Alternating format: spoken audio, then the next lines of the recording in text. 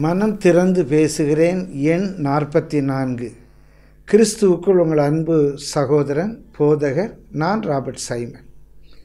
கடந்த இரண்டு நாட்களாக நம்முடைய குடும்பம் ஆசீர்வதிக்கப்படும்படி மனம் திறந்து கத்தருடைய வார்த்தைகளை உங்களோடு பேசி கொண்டிருக்கிறேன்.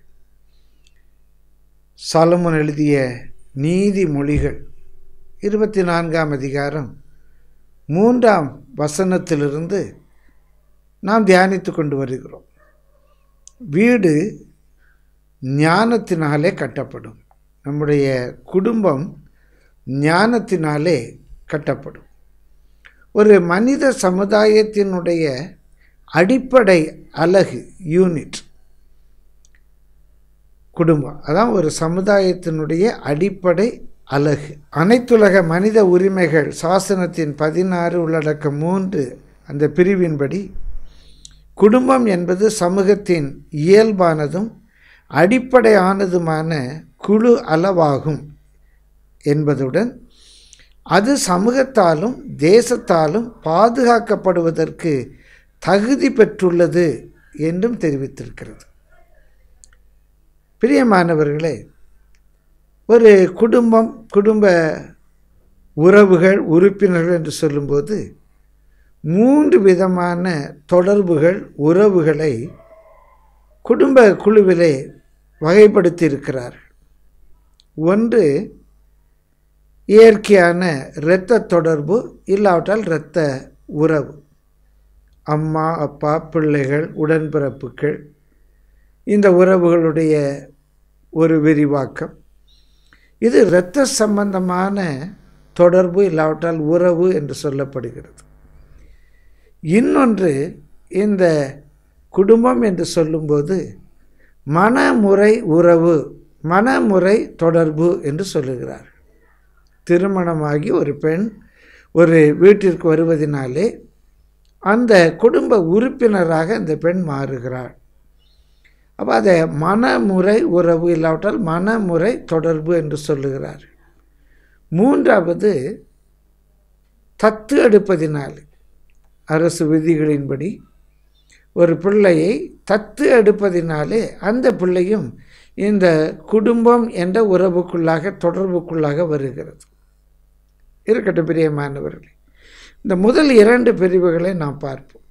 இரத்த தொடர்பான உறவுகள் மன முறைவினாலே வருகிற உறவு. திருமணம் என்ற ஒரு முறையினாலே வருகிற உறவு. பிரியமானவர்களை சில இடங்களில் பொதுவாக இந்த இரத்த சம்பந்தமான இரத்த தொடர்பான உறவுக்கு அதிக முக்கியத்துவம் கொடுப்பார்.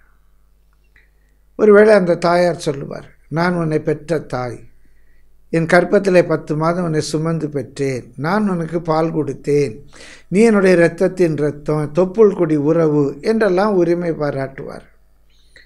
அந்த மன முறையின் மூலமாக அந்த பெண்ணை பற்றி சொல்லும்போது அவள் வந்தவள் தானே. இந்த முப்பது ஆண்டுகளாக இருபத்தைந்து ஆண்டுகளாக நான் தானே உன்னை வளர்த்தேன். அவள் நேற்று வந்தவள் தானே என்று கூட பொதுவாக சில இடங்களிலே பேசுவது உண்டு. என்னுடைய அப்பா என்னுடைய அம்மா என்னுடைய அண்ணன் என்னுடைய உறவு எங்கள் இரத்தத்தின் இரத்தம் என்ற சொற்றொடர்களை பயன்படுத்துவதும் உண்டு. பிரியமானவர்களே இவர்கள் எல்லாம் நம்முடைய குடும்பம்தான். ஆனால் இந்த மனமுறை உறவு திருமணத்தின் மூலமாக ஏற்படுகிற உறவை குறித்து நம்முடைய வேதம் என்ன சொல்லுகிறது?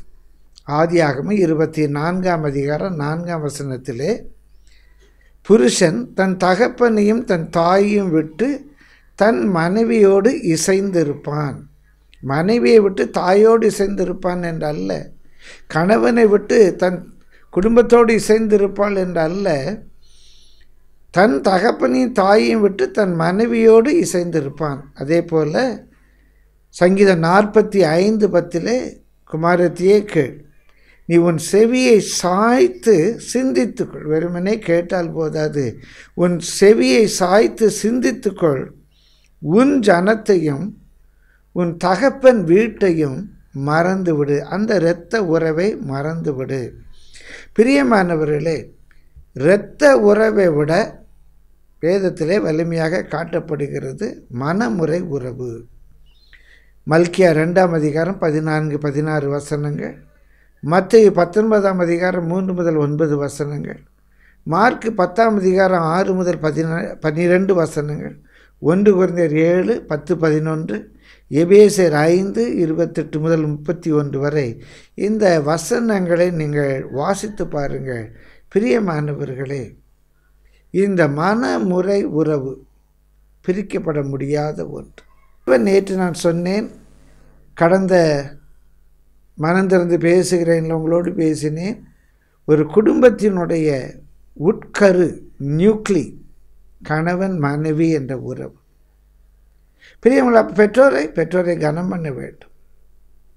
பெற்றோரை கனம் பண்ண வேண்டும். மனைவியோடு இசைந்து இருக்க வேண்டும். பெற்றோரை கனம் பண்ண வேண்டும். ஆனால் அந்த வீட்டை குடும்பத்தை மறந்து விட வேண்டும். அப்படியானால் அவர்களை கனவீனப்படுத்த வேண்டும் என்ற அர்த்தமா? இல்லை.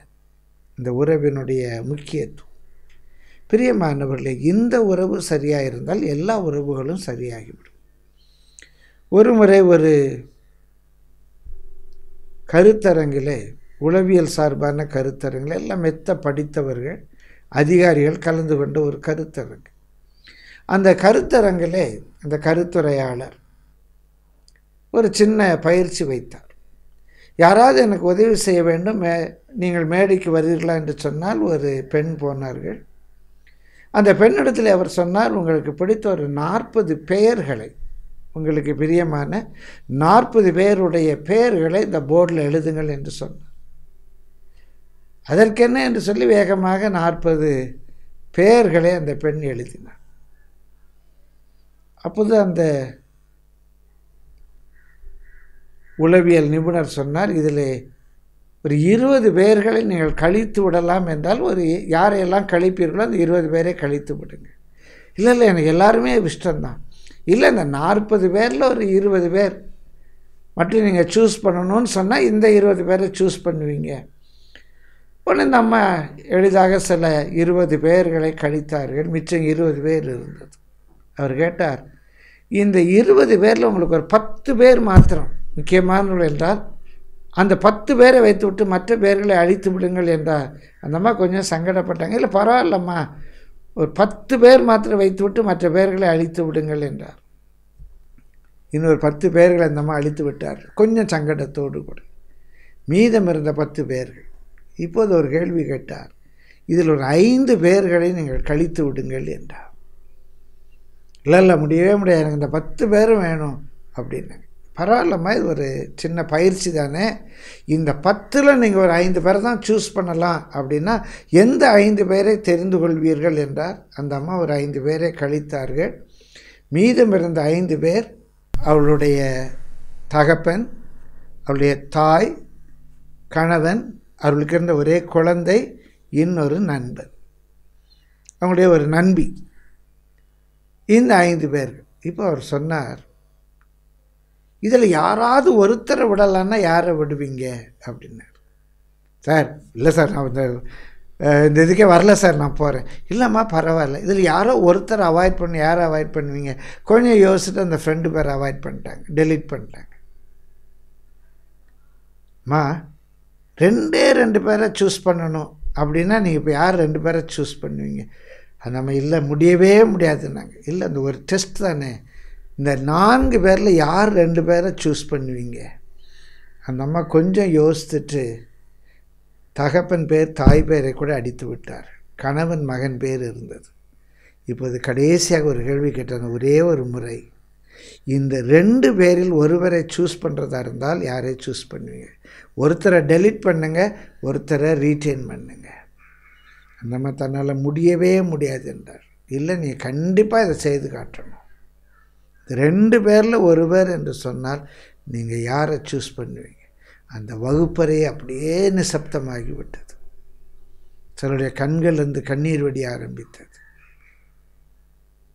இந்த பெண் சகோதரியும் இந்த பெண்ணும் தன்னுடைய கண்ணீரை அடக்க முடியாமல் கடைசியில் தன் கையில் இருந்த சாக்கால் மகனுடைய பேரை டெலிட் பண்ணிட்டு அழுதுகிட்டே இடத்துல போய் உட்கார்ந்தார்கள்.